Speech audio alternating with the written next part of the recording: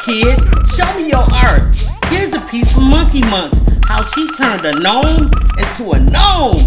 And you can too. Join us on Just Kidding.